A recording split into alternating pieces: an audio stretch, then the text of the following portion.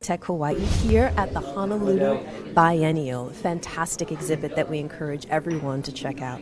So we're here with one of the incredible provocative artists that's here at the exhibit, um, Sama Alshaibi, and she has um, she's just doing some incredible work. So I'm just going to go ahead and jump right in and ask her some questions about it. So hello, and thank you so much for speaking with us today. Thank you, Raya. I'm so happy to be here. It's just it's such a pleasure. Um, why don't you go ahead and tell us a little bit about yourself and your background? Background as an artist? Um, I'm a Palestinian Iraqi. I was born in Iraq, and uh, my life has been very much determined by forced migrations. I'm a political refugee to the United States.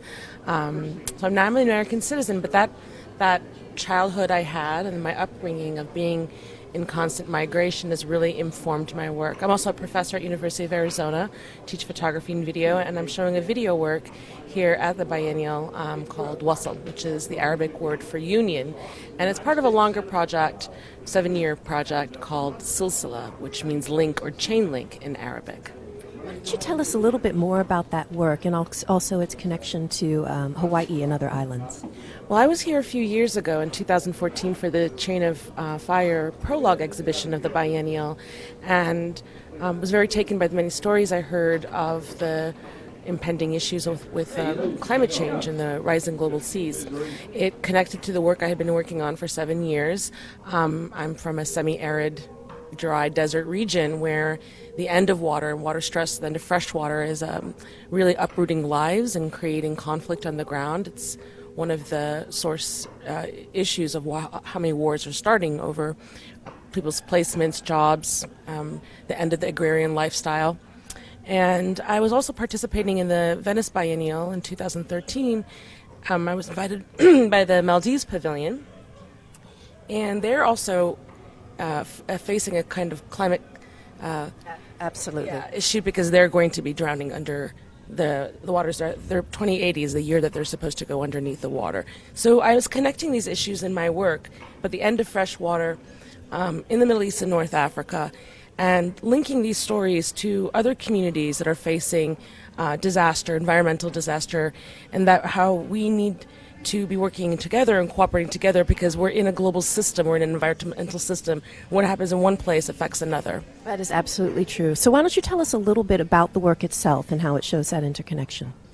Um, the video is produced over seven years of um, most of the countries of the Middle East and North Africa. There's th- about three countries missing just because I wasn't able to get a visa to go into them, and Maldives and Hawaii. And I use the um, my own body uh, in all of these locations, mostly really remote locations, deep into the desert, off the grid.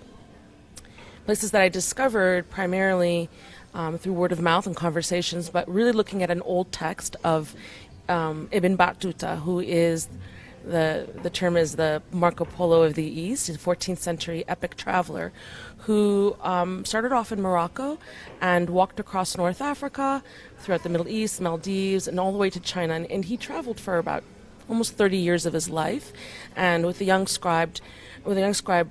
Uh, and all those notes that he had put down very meticulous details of the places that he visited uh, including um, information about the cultures, the languages, the what people dress and wore, the flora and the fauna and the environment. And so it was kind of a roadmap for me. So, so this inspiration really um, kickstarted a journey for you, um, this woman who has had this complex interaction with the land, to sort of begin, if not recreate that journey, to sort of begin one of your own. Yes, and how has that been, do you think, if that's correct?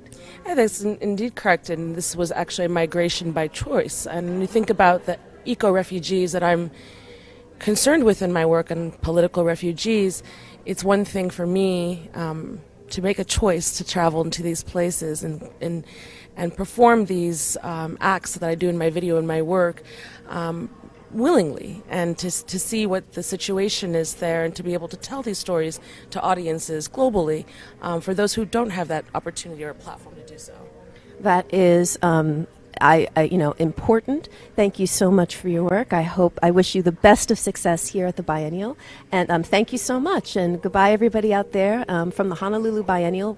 Be sure to check it out.